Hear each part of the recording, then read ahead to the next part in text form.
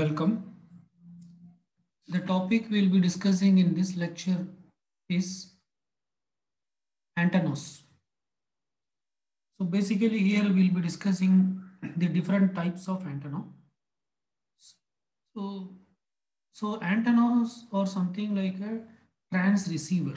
That is, it acts as a transmitter and also it acts as a receiver.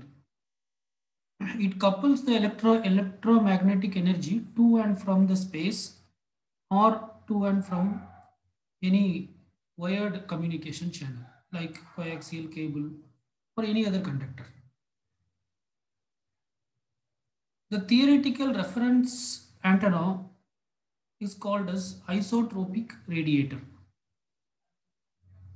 Theoretical reference antenna, it is called as isotropic radiator, which will radiate pattern of radi which will radiate pattern symmetric in all directions.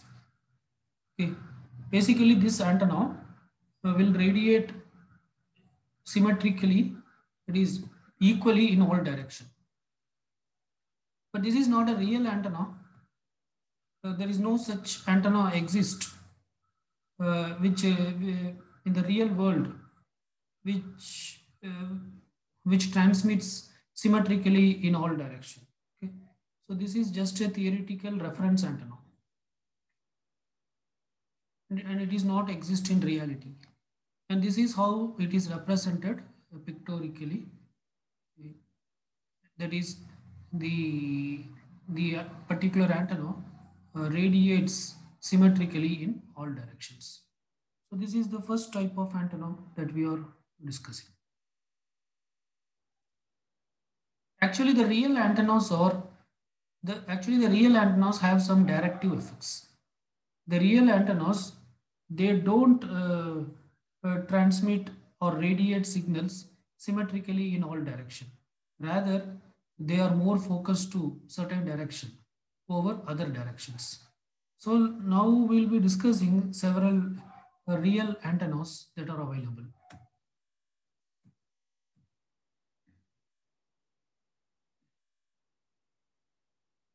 So the next type of antennas that we'll be discussing is called as directive antennas. It's called as directive antennas. So one of the example for directive antenna is dipole. It's a simple real antenna. It's, it's a dipole. It is called as dipole because because it consists of uh, it consists of two separate conductors it, can, it, it consists of two conductors of equal length which are separated by a feeding gap. Basically this antenna, it consists of two conductors of equal length and these conductors were separated by a feeding gap. Okay. And the length of this dipole, the length of this dipole antenna uh, will be equal to the half of the wavelength of the signal uh, that it is supposed to transmit. Okay, so its length will be generally equal to lambda by 2. If the length is uh, the length of the this antenna is equal to the half of the wavelength of the signal that it's supposed to transmit, then it will uh, provide the best performance. That is, it will transmit or it will radiate energy in in in the in the best possible way. If this antenna is mounted on a car, then its length can be lambda by 4. Generally, its length should be lambda by 2, that is wavelength, uh, half of the wavelength. But if you are mounting this uh, antenna on a car, uh, then its length can be lambda by 4. This antenna is also called as Marconi antenna. Dipole antenna is also called as Marconi antenna. So how it uh, radiates energy, uh, that how the how the, the pattern in which it radiates energy is specified in different planes. So let us see that our diagram. So it has it has basically uniform or omnidirectional radiation pattern in one plane. In one of the plane, that is in XZ plane, it has uniform or omnidirectional radiation pattern. But in the other two planes, in XY plane and YZ plane, it has a pattern, it has a radiation pattern uh, which is similar to the numeric 8. Okay. So basically this type of radio, what it does in the sense, it just boosts the signal. It just boosts the uh, signal. Okay. And uh, the challenges about these antenna in the, is that uh, it may not work uh, effectively in the areas where there are mountains, valleys, and buildings of there. So, so it can just boost the signal and, and, and, and it can overcome few environmental challenges. Okay, uh, but, but it may not be effective where there are mountains, valleys, or, or buildings are present. So, so this is how the dipole antenna looks like. Uh, you can see here, its normal length will be lambda by 2, that is half of the uh, wavelength. If it is mounted on a car, then its length can be lambda by 4. And these are its radiating pattern. So this is in XZ plane, in, in XZ plane, it radiates uh, uniformly in all direction. It's omnidirectional. Whereas in YZ plane and XY plane, its radiation pattern is something similar to the numeric 8. So, and, and basically it is, it, it can, it, it, what it does in the sense, it, it boosts the energy and it can overcome few environmental challenges. Uh, but the drawback or the challenge uh, with respect to this antenna is it may not work properly uh, where there are mountains, valleys, and many buildings are present. This is about dipole antenna. The next type of antenna that we will be discussing is directional antenna. The next type of antenna that we will be discussing is directional antenna. So the problem with the dipole antenna is it is uh, it cannot work properly with valleys, uh, mountains or buildings. Whereas this directional antenna, it can work it can also work properly uh, even if there is a valley or, or in between buildings also it can work properly. And these antenna, it has, it has fixed preferential transmission and reception direction. So it has fixed uh, preferential transmission and reception direction. That is, uh, they are focused to one particular direction for transmission and maybe they are focused to some other direction for reception. Okay. Sometimes the transmission and reception may be focused in the same direction also. That's not a, a issue, but but they are focused on one particular uh, uh, direction for transmission and and maybe on the same or another direction for uh, reception. And by that they avoid interferences, and by that they avoid uh, interferences. Okay. So, so this diagram shows the uh, shows how the radiation pattern of directional antenna looks like. So in YZ plane, it is it, it looks like omnidirectional, but in XZ plane and XY plane, you can see it is it is very much focused in one direction, and it is totally uh, neglecting other directions. Okay, so these are called as directional antennas. And a good example for directional antenna is satellite dishes. Okay. So we have dish TV. So in dish TV, if you see the dish is actually uh, kept in such a way that it is it, it, it, it faces only one direction, right? One particular direction. So the opposite direction it totally ignores, right? Because the signal is going to come only from this direction. So it need not focus in other direction. So such antennas are called as directional antennas. So, so that's it about directional antenna. The next type of antennas that we'll be discussing is called as sectorized antenna. This sectorized antenna. So, so what is a sectorized antenna? Several directional antenna can be combined on a single pole. several directional antennas can be combined on a single pole. Such antennas are called as sectorized antennas. Okay. And in case of cellular communication, in case of cellular communication, a cell can be sectored into three or six sectors. What is a cell?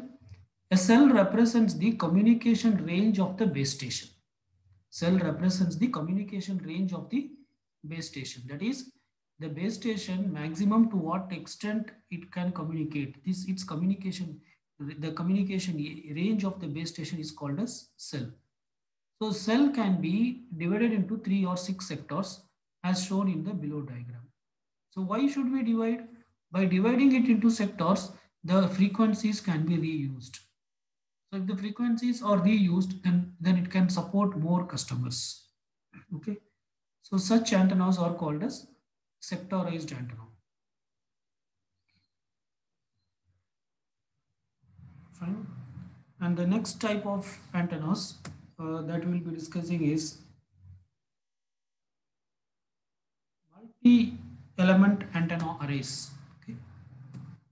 So that's the next type of antenna that we'll be discussing, multi-element antenna arrays. In with multi-element antenna arrays, two or more antennas are combined together. Two or more antennas are combined, combined together to improve the reception. Because normally when an electromagnetic signal is getting transmitted, they go through different types of uh, distortions like reflection, refraction, all these things it happens. Okay. So one antenna may not receive everything perfectly. So if you keep more than one antenna, signals from different directions can be received. And finally, uh, they can be added up and some and useful information can be collected. So that is what this multi-element antenna array does. Two or more antennas are combined to improve the uh, reception. Okay. So these antennas also support some diversity schemes. Okay, these they allow some diversity schemes. So there is one type of one such scheme is switched diversity or selection diversity. Switched diversity or selection diversity, which means that the receiver uses the antenna element with the largest output. Say here there are two antennas, your uh, say there are two antennas. For example, if you see this particular diagram, uh, there are two antennas are there, okay? And these two antennas are connected to some device, right? Maybe this antenna may have high reception power, okay? Or this antenna's output uh, may be high. And this antenna's output may not be that high. Then your receiver may, may always prefer to receive from this particular antenna. That is what it says. Switched or selection diversity means receiver uses the antenna element with largest output. Okay. Or say for example, in the morning time, the data received through this antenna, uh, the output is high. But in the evening time, uh, the this antenna produces high output. So in the morning time, your device will receive from this antenna, and in the evening time, the device will receive from this antenna. So that concept is called as switched or uh, selection diversity. So whichever the antenna provides a better output, the receiver can receive from that particular antenna. Okay. So here you can see uh, there are two antennas of length lambda by 4. They are connect. They are uh, they are combined together to form a multi-element antenna arrays. And these two antennas are separated by a distance lambda by 2. Whereas in this diagram, there are three antennas each of length lambda by 2 and all these three antennas are separated by a distance of lambda by 2 okay so so these type of antennas are called as multi-element antenna arrays. The next type of antennas that we'll be discussing is called as smart antennas. What is a smart antenna? So it's a quite advanced solution. Basically, smart antenna is also is also an, an multi multi antenna elements. Okay, basically smart antennas also uh, multi antenna elements, but they also they also include signal processing. They also performs signal processing, in order to optimize the radiation and reception pattern. Okay. So, so, so as they perform signal processing to optimize radiation and reception pattern, these antennas are called as smart antennas. Okay. And these antennas can adapt to changes. These antennas can adapt to changes depending on the uh, reception power, transmission conditions, and signal propagation effects. Okay. So depending on the reception power, if the reception power is low, okay, then the antenna can adopt to receive even the signal with low power. Okay. So like that, for depending on different conditions, the antenna can adopt itself. Right. So such antennas are called as smart antennas. Right. That's it about the topic antennas. So we have discussed